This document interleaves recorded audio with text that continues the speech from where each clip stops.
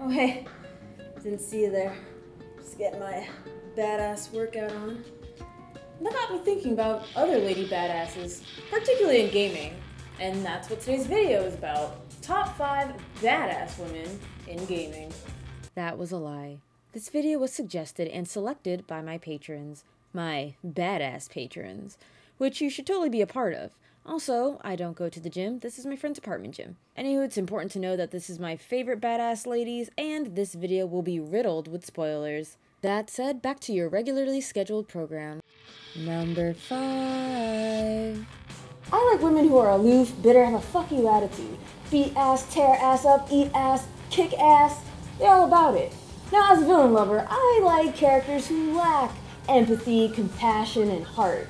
I like characters who drift into the darkness, not save them from it. But there is an exception. Aqua from Kingdom Hearts, Birth by Sleep, and forward. Aqua cherishes her friends more than anything else, and that's clearly shown from the beginning as she made them charms, wayfinders, so they'll always find their way back to each other. Later, Aqua is asked to keep an eye on Terra, one of her closest friends, as he seems to be leaning into Darkness's tender embrace. She chases him down throughout all the lands, her faith being tested when Maleficent says he willingly helped remove Aurora's heart. But still, she believes in her friends, even running into them and trying to get them all to return. Despite her being a Keyblade master, her cherished companions blow her off. And you know, that's not an easy feat to stand up to your friends. Which leads us to a solidifying reason that she is a badass. It's not about her abilities to destroy the unversed or in Fragmentary Passage, Heartless. It's not about her graceful playstyle, flawlessly weaving her magic and Keyblade attacks into killer combos. No, it was her great and noble sacrifice to save a friend. She gave up her spot in the world of light to a corrupt Terra, believing that he still had a chance to seek the light. She's further pushed as a badass while in the realm of darkness for what felt like the longest time she was alone, fighting off Heartless and herself. It was watching depression play out, Aqua gassing herself up, simultaneously dragging herself down. But you see her fight and never give up. I know, self sacrifice and all that jazz is kind of common in JRPGs. and Kingdom Hearts is all about corny friendship. But this was a relationship in the cheesy series that actually felt real. And that's why her sacrifice was not only so impactful, but badass. Number four. I don't know many people who'd pursue an opera singer who just lit an entire opera house aflame. Alone. But I do know Aya Brea from Parasite Eve. How can I talk about badass ladies and not talk about this game? Real quick note, I've only played Parasite Eve, not its sequels, yet. Now, I need y'all to imagine we're in an everyday world. There's no magic, this is real life, we have science and shit.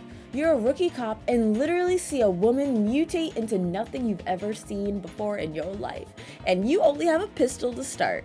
And yet somehow you end up fending off this corrupted woman. Oh, and did I forget to mention you're fighting all sorts of other mutated freaky animals? The uterus on this woman is unreal. She took Destiny by the balls, man, and she was like, alright, I'm gonna do this. She's gonna be the one. In fact, she is the only one who can get near the deranged woman known as Eve. Parasite Eve. Eve can make people spontaneously combust, but not Aya, as her cells are special. Also, battling Eve on a carriage driven by a flaming horse? You don't get more hardcore than that. Listen, I'm gonna be real. If this destiny was thrusted upon me, I'd let the whole goddamn world burn. Shit, I'd probably team up with Eve. Parasite pelvic, hell yeah. But no, like, Aya took the side of humanity instead of mitochondria, but learned to embrace her inhuman traits. Pursuing a parasite mother and mastering mitochondria lands her a spot on being a certified badass. Number three.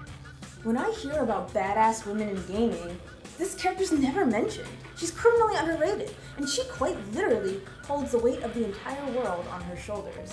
And no, I'm not talking about 2B. Rose from The Legend of Dragoon. A cold hearted, a distant woman in dark blue armor who has been gifted immortality after the Dragon Campaign, a war that freed humans from Winglies. This war was 11,000 years ago, and it was 11,000 years ago she watched her friends and lover heroically die. However, just because the war ended didn't mean the greatest threat of all disappeared.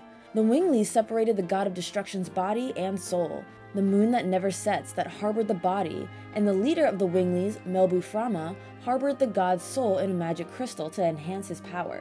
However, when he fought Zieg, a fellow dragoon, and Rose's lover, Zieg shattered the crystal and the god's soul escaped. Every 108 years, a new moonchild is born, when the moon that never wanes glows red. The moonchild has gone down in legend as the one who will bless the world, create paradise. On the other hand, it also means that the black monster will appear, a creature that loathes the moonchild's sacred light and will seek to kill it. What does any of this have to do with Rose? Well, the god of destruction soul that got lost is the Moonchild, trying to reunite with its body. And the black monster, this hideous figure cloaked in black flame, this demon that slays all who come in contact with such a phony angel, it's Rose. Rose is the black monster. Rose is the hellspawn who lived the past 11,000 years of her immortal life, slaying innocent children who the god of destruction possessed. She wiped countless cities and towns from the map, as anyone who comes in contact with the Moonchild later becomes its thralls. And she laments her actions in silence, having no one to rely on but herself. She knows the dark secret of the Moonchild that is praised worldwide, while she, the black monster, is made to be a devil by the same community she saved. Rose is a goddamn unsung hero. She travels with Dart, the main character whose goal is to literally seek revenge on the black monster who destroyed his hometown. She traveled with someone who unknowingly hates you. And more so, Rose also travels with Shana, the new Moonchild, someone you have to kill and who Dart loves. Thankfully, when it all comes to be revealed, and as corny as it was, her traveling companions, her friends, still accept her and understood her pain. Dart and company insisted they fight by her side so she didn't have to go through it alone any longer. And I'm grateful Rose finally got her relief and her painful but satisfying ending. Carrying the weight of the world by yourself for 11,000 years is no easy feat, and that's why Rose is a badass. Number 2 Spite. It's not the best quality, but it's a quality I like. And there's nothing like a spiteful bitch on a quest for vengeance. Velvet Crowe from Tales of Berseria. Now, Velvet wasn't always this demon eating demon, scantily clad, cold blooded bad bitch. Nope, she was a wholesome lass who loved her dear sick brother and was being taken care of by her brother in law, Arthur, or Artorius. Things were doing alright, and as long as she had her family, she was going to be okay too. Until the Scarlet Night. Her dying brother was murdered by Artorius. At that moment, she swore vengeance. The entire game is her chasing Artorius down. She is persistent, unkind, savage, and doing whatever it takes to bring this holy figure to justice. Her justice, anyways. This tale could easily be related to Berserk, Guts, the rugged black swordsman chasing down the angelic figure in white, Griffith. It isn't until Velvet meets Laphicet 2.0 someone who reminds her of her younger brother, that her cold exterior is broken through, revealing her former and kinder self is still intact. I also like that Velvet is one of the few Tales of characters who isn't a goody two shoes. Her motives are personal, caring less about how it affects those around her as long as she meets her goal. In conclusion, we stand a badass with resolve, bloodlust, and a soft inside. Honorable mentions. There's clearly a lot of badass women who deserve to be highlighted, but I can only make this video so long. I already struggle keeping you attention-lacking people interested. So, quick rundown. Bayonetta. I feel like I'd get in trouble if I didn't mention her at least once. She's a sexy witch with guns on her heels, and she kicks ass. There's really nothing else to add. 2B and A2. Sexy android women who carry the weight of the world. 2B trying to fulfill her painful role, while A2 is fighting the system, man. Senua from Hellblade Senua's Sacrifice. If I was trying to do a more objective list, she would be on there.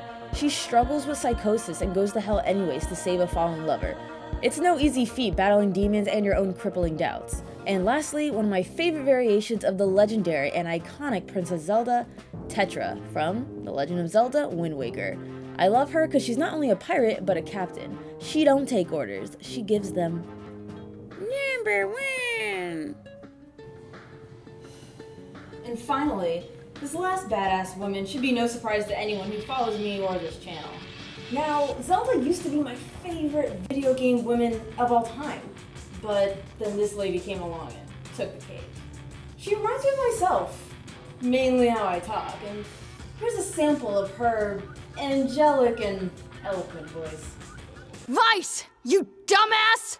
Start making sense, you rotten book, or you're gonna be sorry. Maybe I'll rip your pages out one by one, or maybe I'll put you in the goddamn furnace. How can someone with such a big smart brain get hypnotized like a little bitch, huh? Oh, Shadow Lord, I love you, Shadow Lord. Come over here and give Weiss a big sloppy kiss, Shadow Lord. Now pull your head out of your goddamn ass and start fucking helping us! That's right, Kaine from Nier. Ah, voice actress Laura Bailey killed this role. That beautifully articulate clip is actually the first thing you hear when booting up Nier. And I hate to say this, but this is what solidified her for me. She's done plenty of other badass things that are more noteworthy than her potty mouth, mind you. But seeing a woman who spoke like I did, this was a moment of representation matters to me. Let's flip back to Rose real quick. She's cold and distant like Kaine, and you bet your ass she's the type of woman to say fuck. But she never does. Even Aya chasing down Parasite Eve, seeing the alligator morph into whatever the fuck you want to call this, she had to say fuck. This scene right here looks like she wanted to say, oh fuck.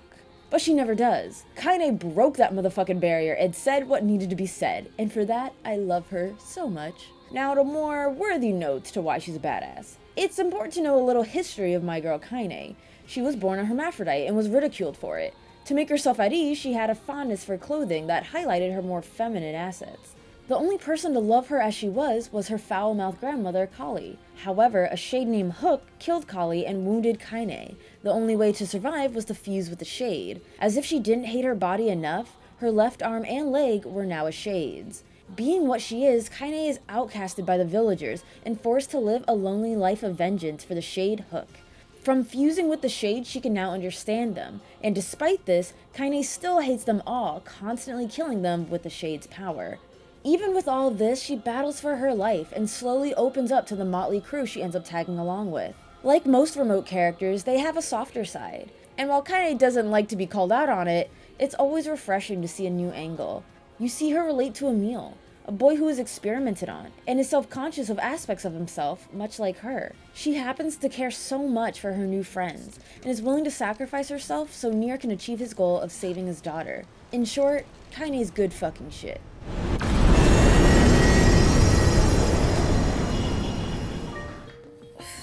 And there you have it. Top 5 favorite badass women in gaming. I figured if I train hard enough, I too can become a bitter, heartless, and cold blooded woman. Well, you know the drill.